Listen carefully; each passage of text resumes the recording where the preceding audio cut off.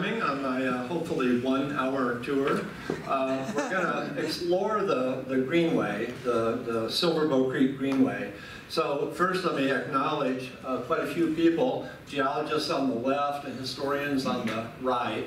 Um, and this is many, if not most, of the people who have contributed to my knowledge, whether by discussions and brainstorming or whatever else, or providing specific information.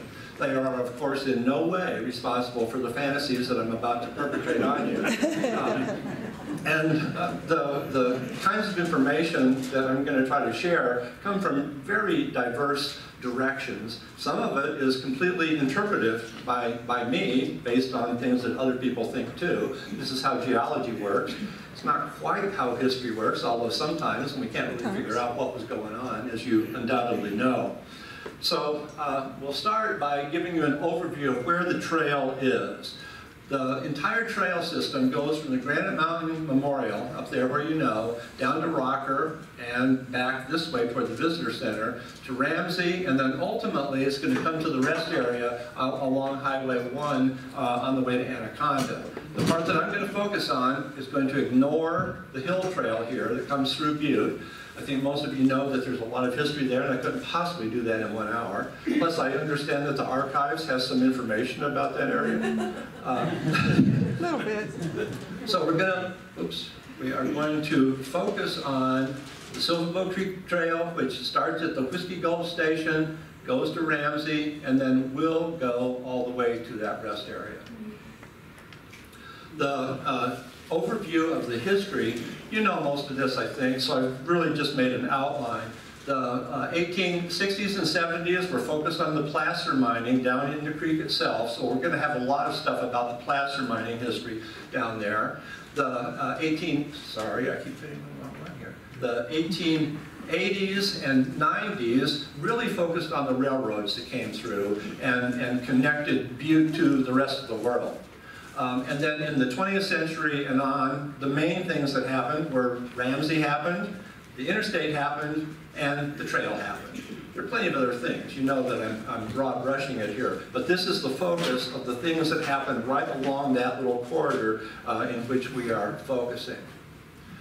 For geology, the history, the geologic history of southwest Montana goes back 3.3 billion years at least. The good news for you is we're not going to talk about all of that. We're going to ignore 98% of it, in fact, because basically all the rocks that are out there along the Silver Bow Creek Greenway uh, are younger than 76 million years, or 76 million years. They are these three rock types. The boulder batholith, you're very familiar with that. It sits here, we're in the middle of it. It's up around Homestake and all over the place. Um, and then on top of that, younger than that, are the Lowland Creek volcanics. These rocks were extruded and intruded about 50 million years ago, and Big Butte is an evidence of that. It's younger than the Boulder Batholith granite. There's no mineralization to speak of in the Lowland Creek volcanics. So when the miners found those rocks, they knew they were in the wrong place. They needed to find the Butte granite to find the mineralization that they were, that they were after. And then, as soon as everything starts uplifting, what happens? It starts to erode. So the dumping of the sediment, eroding off of those older rocks, the granite and the volcanics, turns into sediment, and we're going to talk about some of that out there too. So those rocks are about uh, as young as about 30 million years, plus or minus. You see the age ranges on there. But uh, be happy that we're not going to talk about the other 98%. it would take a while. Here's my cartoon, and you geologists accept that this is a cartoon. This is not supposed to be a perfect cross-section, but a general view of how those rocks that we just talked about are related to each other. Most of the underlying area that we're going to be crossing here is all the Butte granite. Granite, about 76 million years old. The green stuff there and the purple things that come up through it are the volcanic vents and the volcanic rocks that float out on or were erupted out on to the surface above that granite. Then, when you break those rocks and you have basins, they get filled up with that eroding sediment that I talked about, that's when you get stuff like this. These are what I'm going to refer to as tertiary sediments. It's really complicated in some places, and we could have fights with some other geologists about the exact details of what those things are. We're not going to do that. We're going to call it all tertiary sediments. So those are basically the three rock types that we have to talk about. So that's, that's really all there is, with one exception that we'll get to. All right, we'll start here on uh, the, the Whiskey Gulch segment of the trail. Here's the Whiskey Gulch Station on Santa Claus Road. You, if you're all mostly, I guess, from Butte, so you know things like where Santa Claus Road is. It's really challenging to tell people that are not from Butte how to get to some of these stations. Yes. It's a little bit obscure. You know, try to imagine telling somebody how to get to Whiskey Gulch Station. Well, go out Excelsior until it doesn't go north-south anymore, and then take this intersection and do that, and watch for that road that you can't quite Yeah. see. It's really hard to find But don't things. take the other left. Take the other, yeah. And, and if, and if Dory Speargridge, who's on the Greenway Board, can get her funding, I hope that they'll make more signage for, for how to get to these places. That would be a useful thing. Um, so that's the part we're going to talk about first, will be this mile and a half that goes from Whiskey Gulch Station to, uh, to Rocker. We will start with the geology, and the geology is pretty simple. Fundamentally, everything that out there is granite, except for Silver Bow Creek itself, which is, is modern uh, alluvium that's just laying down there. But Whiskey Gulch is almost certainly a fault zone. Uh, This shows on basically all the maps that have been produced for, for that area. And it goes just about right through the, the parking lot for the Whiskey Gulch uh, uh, uh, station starting point for the trail.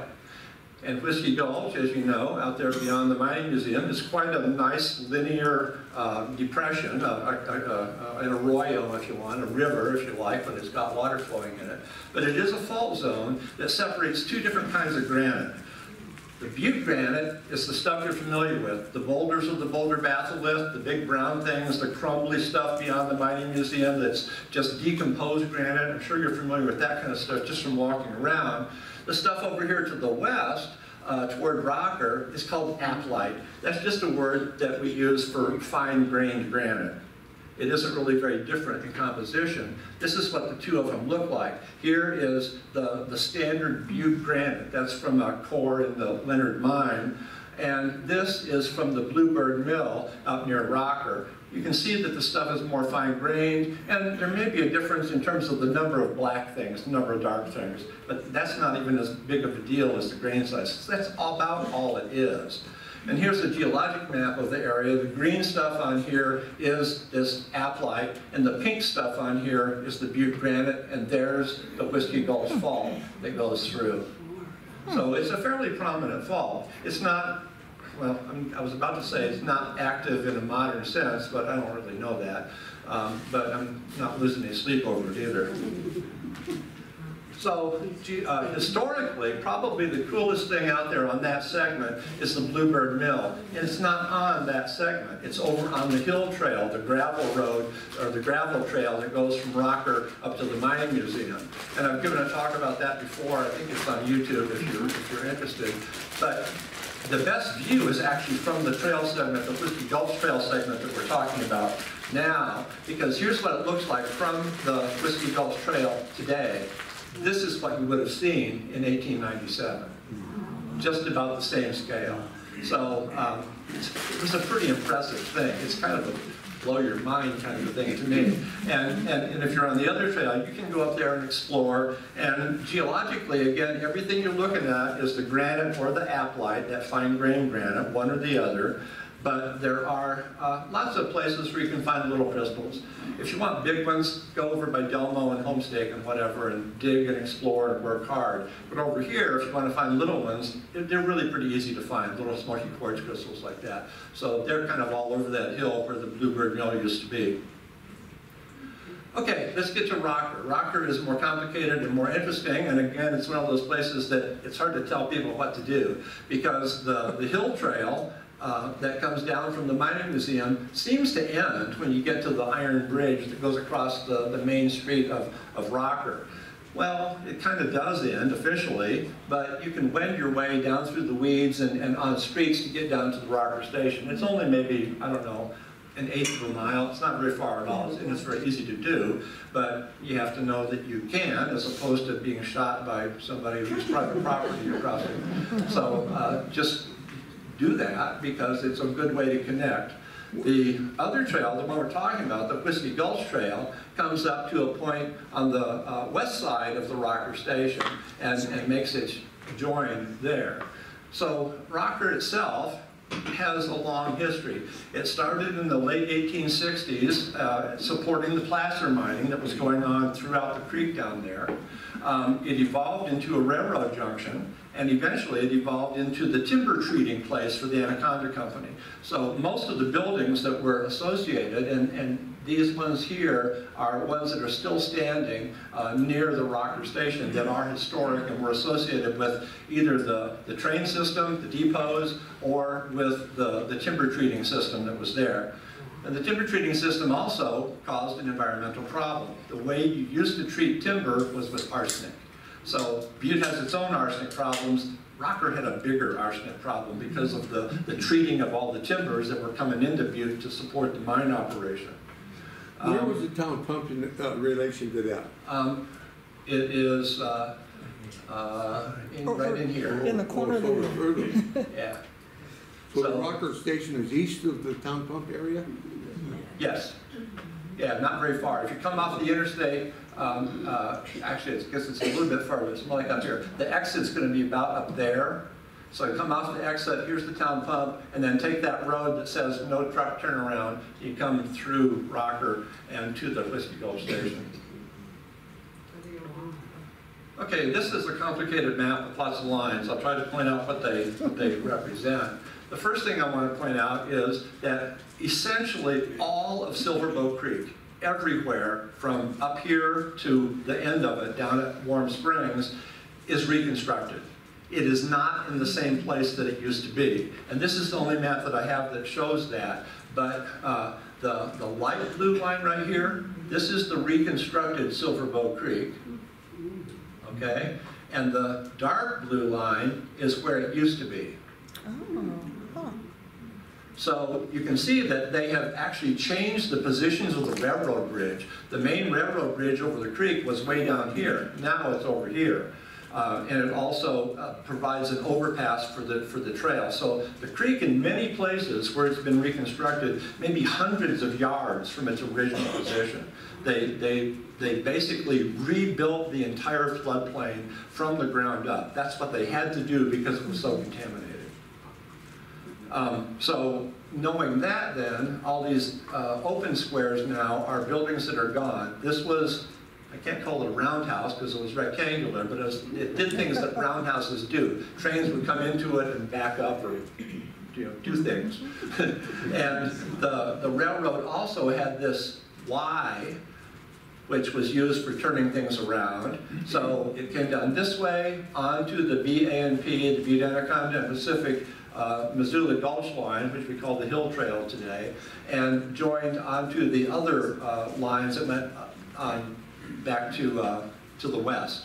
So some of this is is the other branch of the BANP, and that's still there.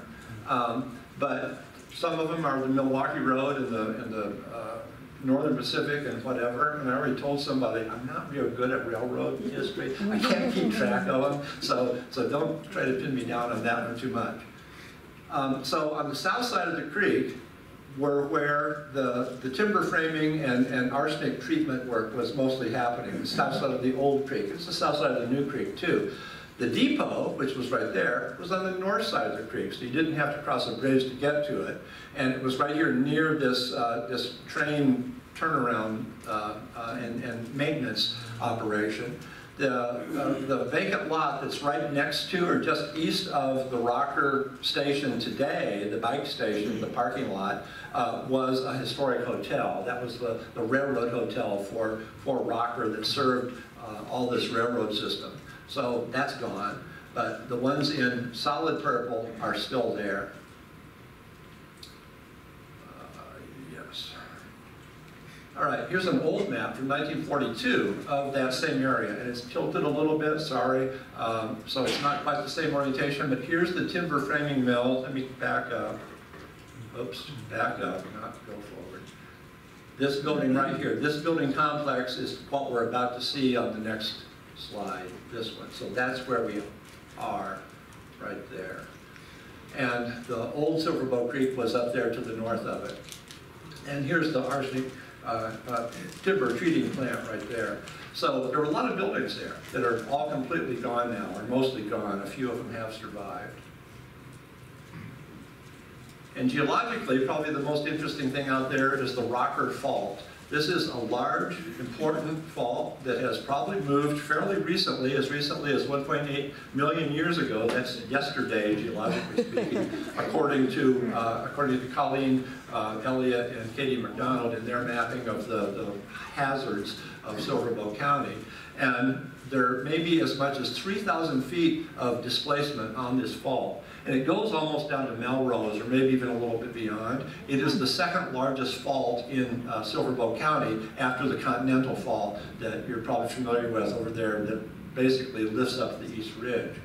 So um, not a trivial thing at all. And its orientation, you can almost see it here, for example, in the topography. It gets a little less clear cut, and there might be branches of it as you come up this way. But this is about where it is, and we're going to focus now onto the trail area so you can see where it is when you're, when you're crossing it goes pretty much right about where the Iron Bridge is at the end of the, the, the, gravel trail that comes up to the mining museum. And when you're on the Whiskey Gulch Trail, just about where you're crossing the road, the street there, is about where it goes through. When you're out here in the floodplain, the fault is not evident really at all, so because that's all been re rebuilt and there's nothing remotely like accent, uh, uh, offset.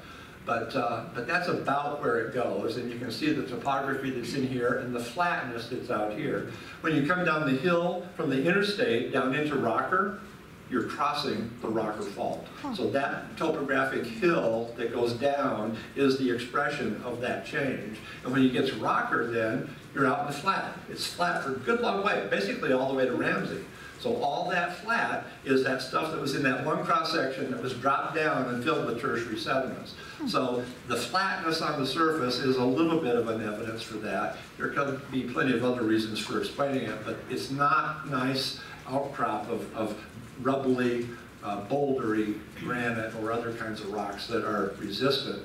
So, so that's that change. It happens right there. So when you cross it, either on the, the hill trail or the Whiskey Gulch Trail, you know it. You know that it's there. And rocker, you know what a rocker is?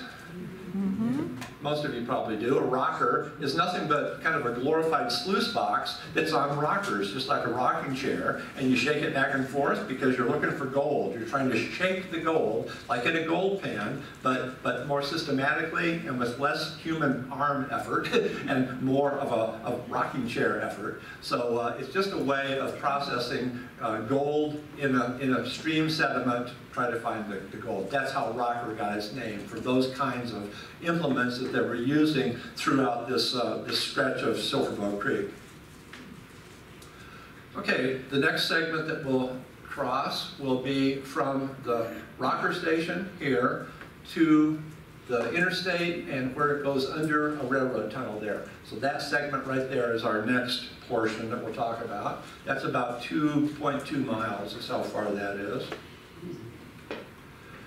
And when you first leave Rocker Station, which is right here, the parking lot and the uh, restrooms and whatever, you cross Silver Bow Creek, the reconstructed Silver Bow Creek right here, and you pass the last of the historic buildings, which was the Creosote building, the, the Creosote and Arsenic building.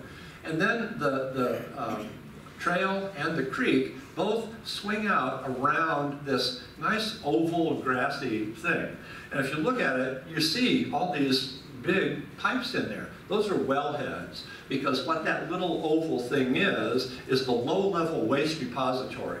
That's where they took the arsenic-laden stuff that wasn't too bad and put it there. They put it in a lined system, and I mean, all the environmental things that you do uh, to protect it, and they monitor the hell out of it. That's what all those wells are about, because you were asking before, there's the town pump and they have their own well. And no, we don't want leakage from this repository to get to that well. So they monitor it aggressively. I'm not sure, did anybody know if the Bureau is who does that or if it's the DEQ? Doesn't matter. Somebody monitors it, because I've been out there many times. I bet I've seen 10 times and there's somebody out there doing stuff in It's those wells. EPA contractor, What's that? EPA contractor. Okay, fine. Thank you, Joe.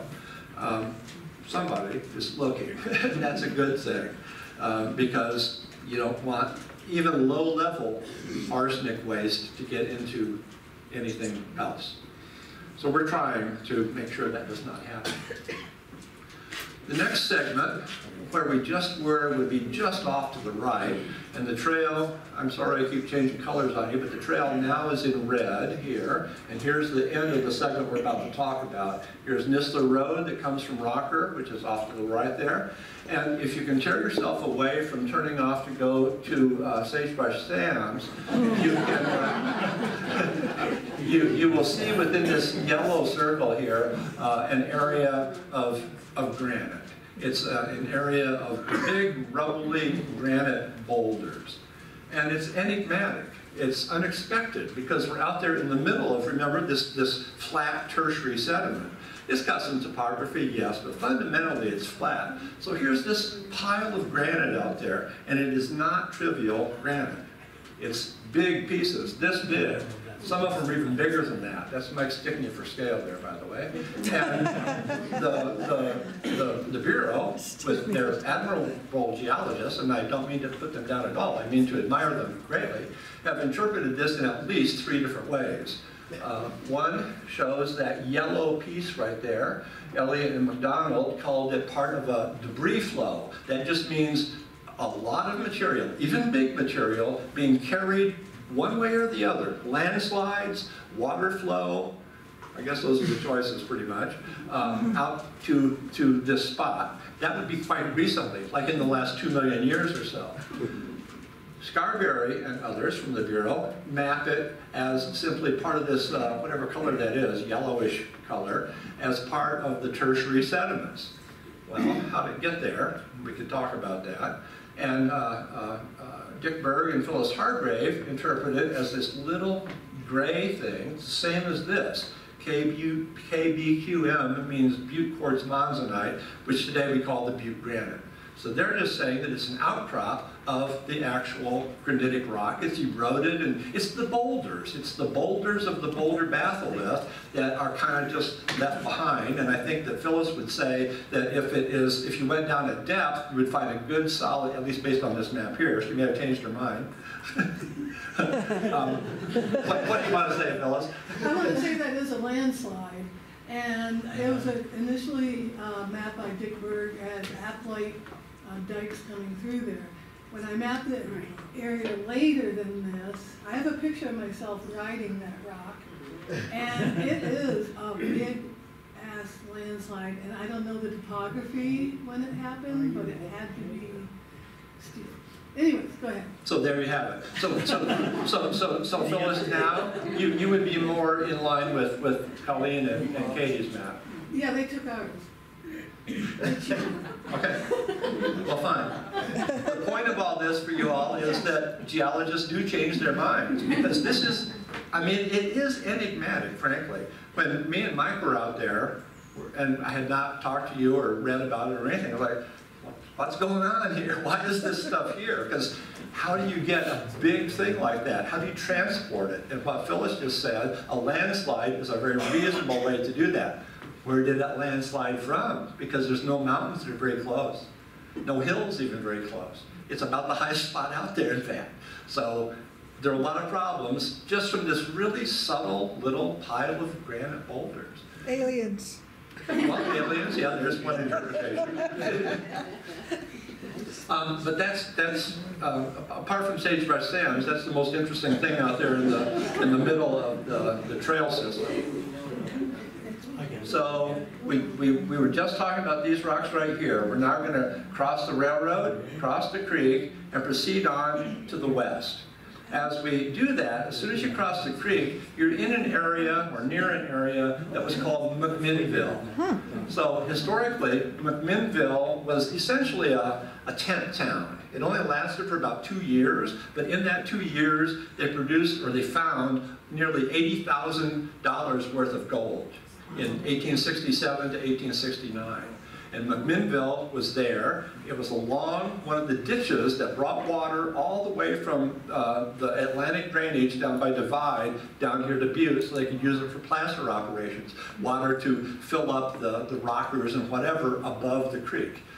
Don't ask me why it was easier to build a 50-mile ditch than it was to just haul some water uphill 200 yards, but that's how they did things back then. And if you look carefully on Google Earth, you can, you can find up here in the hills, which sometimes are still called the McMinnville Hills, you can see traces of those, uh, those, those ditches, those water ditches. They're not continuous by any means, but if you know where to look and look hard, you can find them. Nothing left in McMinnville. I'm not sure there was a solid building there. It's referred to as, as tents and shacks. Um, and it was completely gone, completely gone by 1870. But everything they were doing in that time frame uh, left its mark. And when you get here to the western part of this segment, you can see here on Google Earth, there's a, a texture there to the topography. And when you're on the land, on the ground down there, you, you see hummocks, piles and piles and piles of rocks, big rocks like this. And for whatever reason, and I'm not a biologist, but you can also see that there's a lot more trees in there. There's junipers and the very occasional Douglas fir, big trees. They seem to like that kind of material. What that is, is the dumps from the placer operation. This is stuff that's from the 1860s because pretty much all this was done about 1870. Sure, there was a little bit of rejuvenation over time at various times and after that, but fundamentally, this is 1864 to 1870 in terms of the, the, the manhandling of all these rocks looking for gold out of Silver Silverbow Creek the, the, the placers used to expand, extend basically from somewhere here west of, the, of what we call Nistler Junction now, all the way back to Rocker. And uh, over the entire history of that stretch, it produced almost 250,000 uh, uh, dollars worth of gold. $250,000 is about six or seven million dollars today. So it was pretty rich. It's nothing like Alder or Virginia City or even Bannack. But for Butte, it was probably the primary place where the, the placer gold came from. On the map, uh, there's a star right here at the end of the, of the placer zone. And just remember that because we're going to get to it in momentarily. So this is what it looks like. They look like a bunch of big graves or something covered with stones, but they're just pile after pile after pile. And these are the placer dumps. This is where hundreds, hundreds and thousands of guys out there just dumping stuff, stuff that they had already gone through. We looked at this, this rocker full of stuff, dump it, we're done. So it's all there. And that's just a cartoon that shows us something about how placers work. Now that star that you get to almost, you're almost to the interstate, you're near the, the last bench before you get to the interstate. There's some big rocks there, big rocks sitting on the side of the trail. And at a glance, you think that they were big rocks of granite. And let me say too, at this point, almost all of the big rocks that you see near the trail and around the parking lots and so on out there, um, they're, they've been put there. They're not in place. They're not in their original location. They're put there as landscaping rocks, basically. But I'm convinced completely that they are close, close enough to their original location to tell us information about the geology. So you find big blocks of granite where there's granite below, and you find this rock, which is not granite, where this rock is below. You remember the tertiary sediments, those things that were dropped down, the basin formed by the Rocker Fault and filled in with the eroded stuff? When you go over and look at this stuff, you see that it's layered. It's not, granite It's not layered. Mm -hmm looks like granite, but it's got layers in it, and it has a chunk of other rock in it there. That chunk of rock right there is a piece of the volcanic rocks. That tells us that this rock was eroded and deposited later than both the granite, which composes most of the stuff, and the volcanics, which makes this one, and it's not just one, there's a fair number of them, that's just a nice big one that I found. So it's after 49 million years ago. That's when this rock was formed, when it was deposited and solidified and uh, buried somewhere, and then they dug it up and put it here to make it look cool. Um, the, the brown lines that go through it are just iron oxide. those are not really the layers of the rock. Those are, are positions where the water percolating through the rock would have precipitated iron oxide at various stages of, of standstill. The, the darker the darker bands would be the water was there and evaporating for a longer time, so it deposited the stuff that was precipitating out. Um, and the other parts where it was sort of flowing through and picking up the iron to deposit it in those layers. So um, that's the first time going west that you get to see a really good example of these tertiary sediments. So we will now continue to what to me in the whole stretch is probably the most interesting both historically and geologically. The intersection of the, the interstate today, Nistler Road, two railroads, the trail, and Silverbow Creek. That's where Silverbow City was. Silverbow City is where the prospectors first found the gold. The gold monument for that is here on Nistler Road, so like somewhere about in there is where we think that the first guys found the, the, the good pay gold. And the, one of the prospectors, Pete McMahon, claimed that he was making like a dollar sixty-five a day, or no, a dollar sixty-five per pan. That's a whole lot of money in 1864. That's a whole lot of money. So that stimulated the development of Silver Bow City, which was right here. There's not much left that we can see, but there are things that we can figure out. So we will look first at the history. These are two old maps that just show you generally that, that we knew about them. Butte is right there, and Silver Bow is those four dots right there. This map that I got from Mary McCormick is maybe a little bit better, shows Rocker, this is 1877, so this is actually well after the, the, the primary placer operation. And Silverbow City was still there too. The interesting thing to me about this map mostly is that there's an implied bridge across Silverbow Creek right there. Just keep that in mind, because we'll talk about it in a momentarily.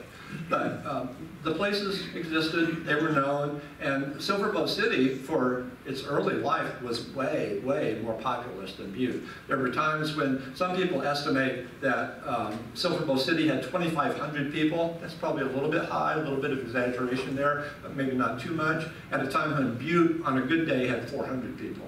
So Silver Silverbow City was a big deal. Silver Silverbow City, uh, in fact, was the first county seat of Deer Lodge County. Montana had just been separated from Idaho uh, territory in, I think, May of 1864. In June and July of 1864, the prospectors were out there finding the gold in Silverbow Creek. Silverbow City began and was named the first county seat of, uh, Silver, of, of uh, Deer Lodge County. Silverbow was part of Deer Lodge County until 1881. Okay, so here's what's left. Here's a modern, a modern image. The malt house there, uh, which is a private house now, it's no longer a brewery. I know you all know that, but apparently Guy Graham, who owns the house, has had people coming up and say, is this a brewery? Google Earth tells them that it's a brewery, but it's not, um, and you know that. Here's the bridge I was talking about. Well, not the bridge, a bridge that's probably in the same position. Um, this bridge was probably built about 1918. There's newspaper reports that imply there was a wooden bridge that had been taken out by a flood and they had to spend all this money so the council had to approve and all these kind of things. And on the trail system now, here's the trail and it goes under the railroad right there. So if you're familiar with the trail, this is that railroad tunnel. And there's the interstate, of course. The other thing that's on here that is actually historic is Nistler Road, at least until there. That, which is now a driveway for, for the, these newer houses, that's where Nistler Road used to go. They moved Nistler Road down here when they put the interstate through, so they would only have to build one overpass. Mm-hmm. One overpass for the railroads, the creek, the trail, and Nistler Road. Nistler Road used to curve kind of up that way. Silverbow Creek used to curve up that way if you're out there at what we call Nistler Junction now, um, and you're on Nistler Road, all that wetland that's over there, that's really Silverbow Creek. It used to be anyway. Um, and now it's been channelized and, you know, fixed and cleaned and all those things that we're happy about.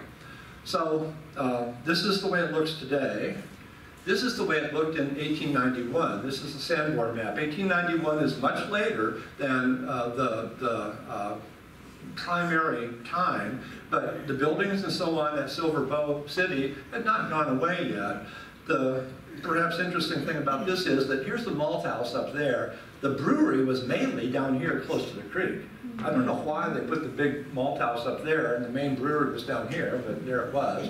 The road that's here is quite prominent. This shows up repeatedly on, on multiple Sanborn maps. But what I did was, knowing the malt house and knowing this bridge and knowing Silver Bow Creek and knowing the county road, I overlaid them. And this is the result of that. Mm-hmm. So there's the malt house, there's the bridge on both the map and the image. Here's the county road that used to go through there. And here where all those buildings were. So when you're out there in front of the, the malt house, in front of Guy Graham's house, you need to visualize a lot of buildings around there that are hmm. completely gone now. And that's only on this side. I'm sure there were other buildings over here on this side, as there are today, further along as you go back toward Rocker. There are other places there, at this place we call Nistler Junction. It gets confusing because we think of this as Nistler Junction, and we think of Silver Bow as a place we haven't gotten to yet, but this was Silver Bow City. Silver Bow City and Silver Bow Junction are different, different kettles of fish. And there's the, the malt house taken in uh, 1982. Chris Nisler, who, who established the brewery, had first been a, a brewer up in German Gulch. That didn't work out because, you know, these places are fly-by-night places. So he was here in Silver Bow City with, with a brewery as early as 1871. But his success didn't develop until the late 1880s. And uh, like it says there, 4,000 barrels a day. No, that isn't right. It was 4,000 barrels a year. That's not, not a day, 4,000 barrels a year. Sorry. And, and then the next year, he built, he built this, and they established uh, an outlet up in Butte too, because Butte was the place to be by, by the 1880s. Uh, Chris Nisler died in, in 1901. The place was sold. It became the Capitol Brewery and the Crystal Springs Brewery and was completely out of business by 1912. And if it hadn't been, it would have totally been out of business by 1919 when Prohibition took over. But uh, uh, the Malt House is, uh, it's an independently listed entity, I believe, of the uh, National Historic Landmark District, one of only about 15 or so in, in Silver Bow County. All right. From just a little bit west of, of uh, the Malt House uh, on, on Nistler Road is the, the monument to the discovery of, of gold in um, uh, 1864, July of 1864. In 1906, uh, an article in the paper showed a picture of Sherman Butte. This was describing the origins of the name Silver Bow, Silver Bow Creek. I think you can believe me now when, when I say that that feature there is really the same as that feature there. For a while when I got started on all this, I wasn't really positive where Sherman Butte was because it's not named on any modern maps, but that's Sherman Butte. I am completely convinced that it's Sherman Butte. It's on the other side of the creek from, from, the, from the gold monument here. And it was on Sherman Butte sometime in that July of 1864 that someone, most people say Pete McMahon, some people call him Pete Slater, some people say it was somebody else, was looking east into the, the sunrise or maybe west into the sunset, but, but saw somewhere a nice beautiful curve with the sunlight glinting off of it and compared it to a silver bow and the rest was history. So um, this is where it happened. There's not really any doubt about that. The details are, are debatable, but uh, it happened here on Sherman Butte. Not even sure that it was named Sherman Butte because the, the only good reference is a, a, a reminiscence uh, by uh, Charles Warren, uh, an early major pioneer here in Butte, and it was he who said that he named Sherman Butte and probably not in 1864, but at some time after that. So pretty sure it's, I'm, I'm positive actually that it's Sherman Butte. I'm positive that this is where those descriptions of Silver Bow came from, but other details, uh, do what you want. Dick, is that from a queer spot? But Is the? yes, it's a queer is- spot. Is that a queer spot? Yes, Okay. queer spot's uh, Silver Bow Creek. Okay. Could you go back two previous screens? I've got a question, but one more. Down in the lower left corner, do you see that straight cut? Yes. Right there. Yes, You'll see several of those as you're going down the interstate. Do you know what those are about? yes, we're gonna get to that. Okay. Okay. It's gonna go- Okay, so we have done the history over here of Silver Bow City. We're gonna continue on the trail up this hill. And when you're old like me and you're riding your bike for the first time and you're out of shape, it feels like it's a lot more than 70 feet of, of gain, but that's all it is actually. So uh, uh, you're coming up on Sherman Butte, that feature that we just saw in those pictures, and we're on the, the, the south, sorry, the south side of it here. The high point is up here. And uh, so uh, we're going to switch into geology now. And this is a map that shows, here's the railroad tunnel, here's the malt house, there's the gold monument, here's Silver Bow Creek, and here's the trail. And those dots in the outcrops up there are the places where I established stations for making a geologic map, a rather detailed geologic map, to the extent that I could. And in exploring that country, uh, there's a lot to, to be seen, and I'm going to go through the pictures of it pretty quickly. But the way it happened was, again, I was tired and not able to go up the top of that hill without stopping. I stopped to catch my breath. There at my feet was a rock. Well, I'm a geologist. Geologists look at rocks. It was sparkly. We really look at sparkly. and um, I, I picked it up and I thought, oh, this is probably quartz or something like that. Well, it turned out to not be quartz. It is the mineral fluorite. These crystals right here are the mineral fluoride, calcium fluoride. It's not that rare of a mineral, but it's a pretty mineral, and it was a little bit unexpected out there. So looking around, it's like, geez, there's fluoride everywhere. What's going on here? I didn't know, you know, but you know, you get curious and you pay attention. There's more than crystals like this. There are, are areas like this where it's kind of bubbly and, and rubbly and places where it almost looks like flowstone in a cave. And it's all fluoride. It's, uh, it's just kind of boggling and puzzling, or at least it, well, it still is, but sometimes you get nice cubes. This is sort of the standard appearance for fluorite, these yellow cubes over here. The yellow is a little bit unusual. And in this big rock here, that rock's about this big, and yes, I didn't haul it out, I had a friend helping me. Um, but everything in there is actually fluorite.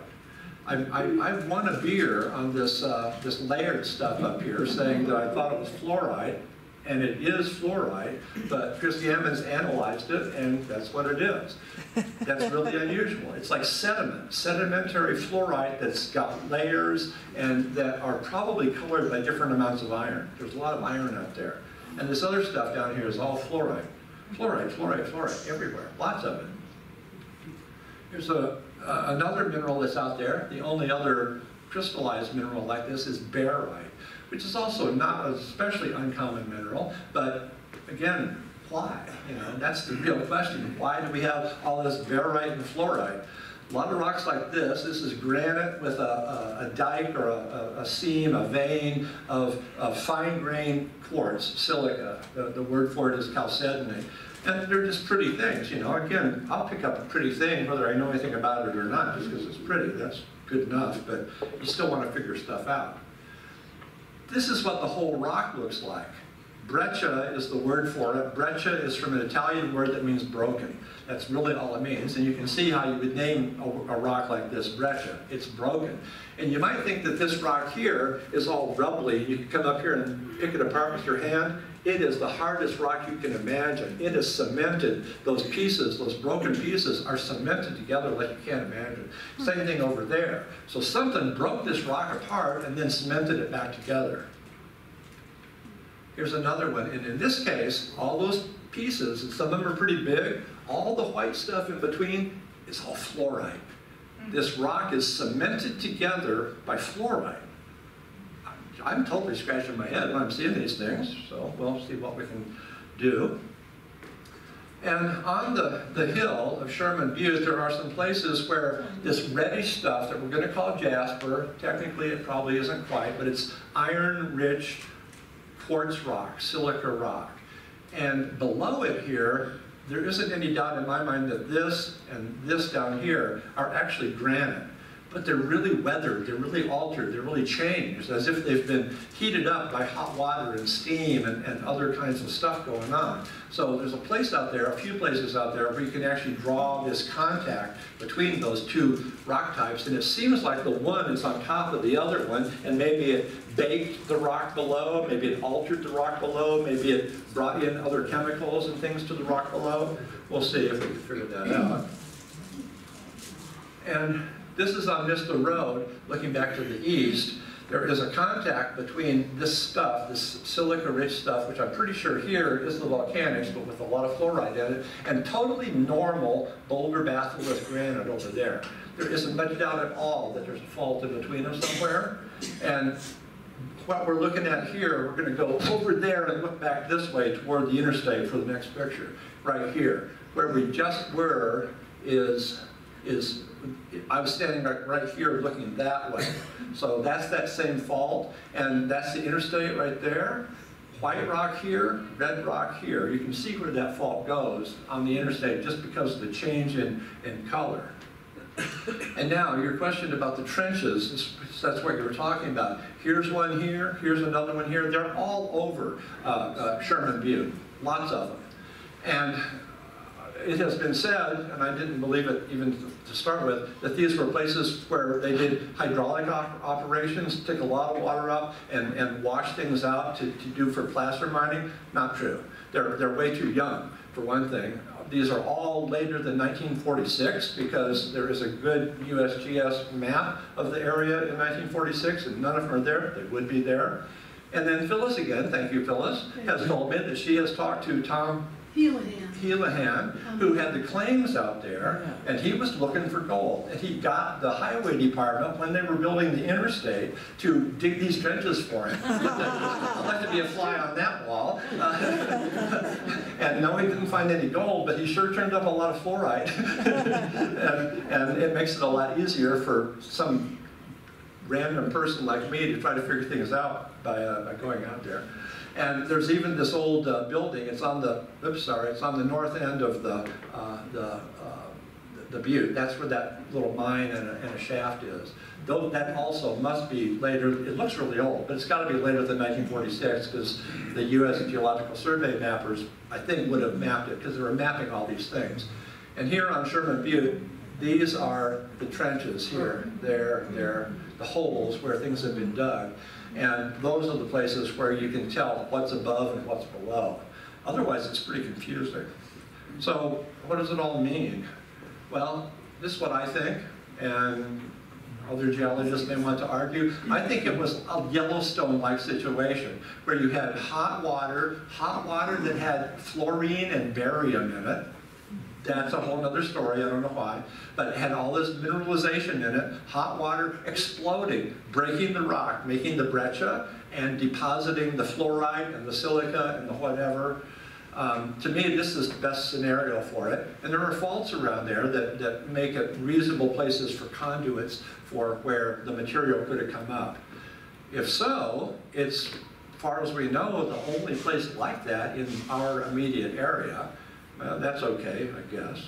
Uh, um, but that's my personal interpretation, and the the times that I've said that to other reasonably smart geologists, no one has said, no, it's impossible.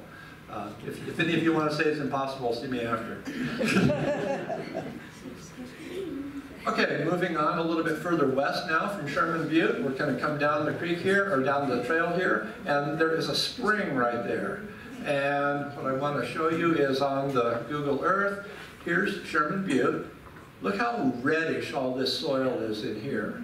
And look how white it is down here. And also reddish right in there and white over here. I think there's a fault zone that goes right through there that separates that reddish stuff, which is that fluoride and iron and all that stuff, from other rocks, which I think are just the standard tertiary sedimentary rocks. That interpretation would be like this. The fact that there's a spring right there is just extra added attraction.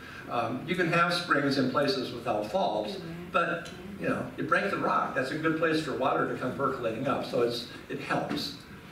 Um, so that's an interpretation. This, sorry.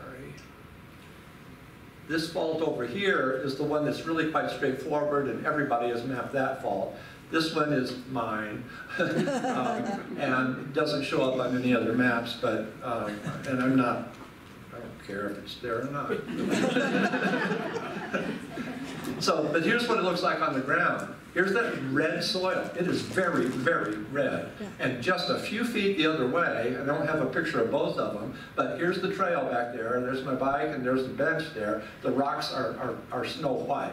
And these are some of those tertiary sedimentary rocks. So I think that this is a boundary between the tertiary sedimentary rocks and the younger stuff that was deposited by a hot spring at uh, Sherman Butte. And here's some maps. This is again from Elliott and McDonald. They have a lot of faults going that way. I have no argument with those at all. These are the faults that come this way that everybody maps. There's my fault right there. So it's not that much of a stretch. I don't think anyway. All right, finally we get to Silver Bow Station. The story out here is mostly about railroads, and uh, I'm not going to try to do that in any kind of detail. Here's a picture of the original Silver Bow Station uh, building. I think essentially all of these buildings are gone now. And the last segment before Ramsay, uh, you have to go from Silver Bow Station, which is another one that's hard to tell people how to get to, but you go on Silver Bow Road for not very far, I don't think it's even a quarter mile, to where the Ramsay segment, another mile and a half segment, begins and goes over to Ramsay. All right, three things that we're going to talk about here. The first uh, one is, if you remember, I pointed this out before. This is the reddish stuff, which is placers. This is the whitish stuff, where I think that fault goes between the two. I've labeled that one a debris flow. That's kind of what it looks like, but that's another place that's subject to multiple kinds of interpretation. It might be tertiary sediments. It might be a debris flow, a pile that has come down out of Brown's Gulch and has just been deposited there. It could, I suppose, be a landslide that's been carved, the side of it been carved by Silver Bow Creek, that sort of thing. So not much to say, except that uh, in the placers here, it's not just granite rocks like there were in the other ones, because we have all that stuff upstream, the fluorite and the barite and other things that are also eroding down into the creek. And the one thing that's there that's cool, I think, is calcite. This is what it looks like in normal light, and it is very fluorescent. And even though fluorite is the mineral that gives its name to the, the property called fluorescence, hardly any of the fluorite out there is fluorescent. But the calcite is beautifully red fluorescent. And the other thing in that debris flow, you can find sapphires.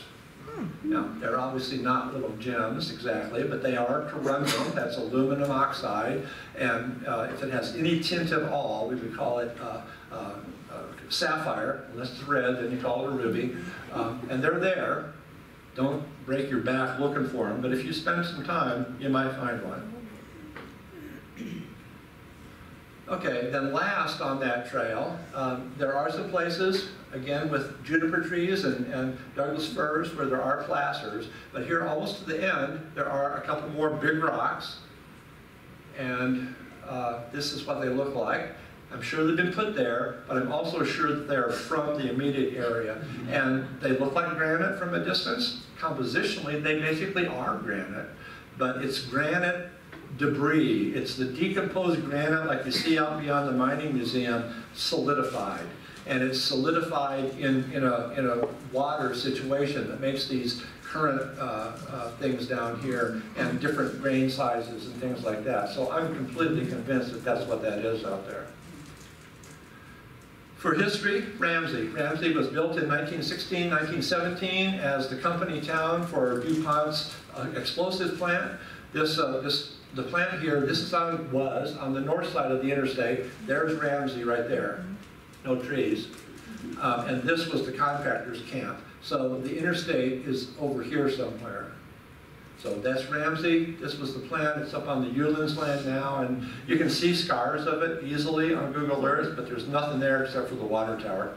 I'm not sure if that water tower is the one that went with this or not. Okay, it took us that long to go 6.3 miles.